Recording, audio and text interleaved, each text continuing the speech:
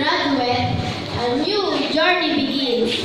And this journey would not have been possible without the support of our families,